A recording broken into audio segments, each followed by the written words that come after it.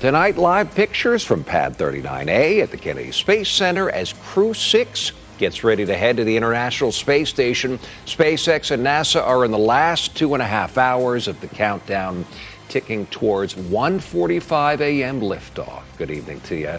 I'm Erik von Ancken. Glad you're with us tonight. Crew 6 is commanded and piloted by two NASA astronauts, but also includes a Russian cosmonaut and an astronaut from the UAE who is set to make history. The Emirati is going to be the first from his country to stay long term at the space station.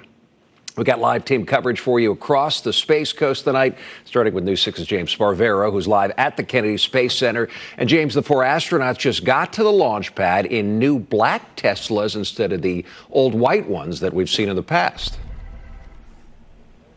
Only the best from SpaceX, Erik. I guess the 2020 models weren't new enough anymore, so maybe 2023, to the best of our knowledge, those black Teslas, we watched them go by here at the Kennedy Space Center press site about 30 minutes ago. And now, the astronauts, as you mentioned, Crew 6, the sixth full-length mission to the International Space Station for SpaceX under NASA's Commercial Crew Program.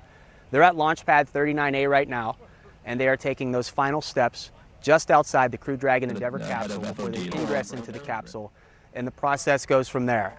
After that, they will launch at 1.45 in the morning, and we want to take you back just moments ago when they stepped out of their astronaut crew quarters and they got into those Teslas saying their final moments goodbye to their families. Watch.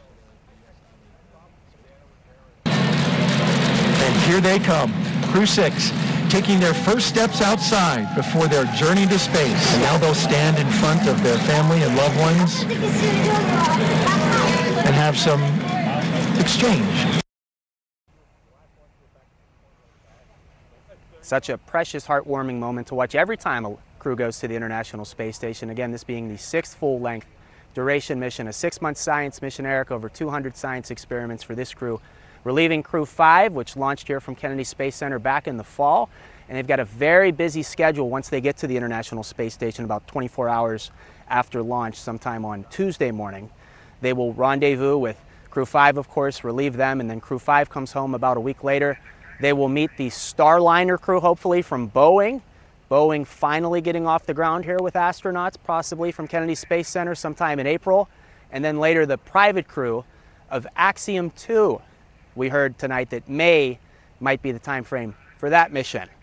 We'll join you again right up as we count down to this launch, Erik. 1.45 in the morning. Another overnight mission here at Kennedy Space Center. Should be a great launch, James. The astronauts aren't supposed to actually touch their family members, but I think I saw some fist bumps. We'll talk to you again very soon.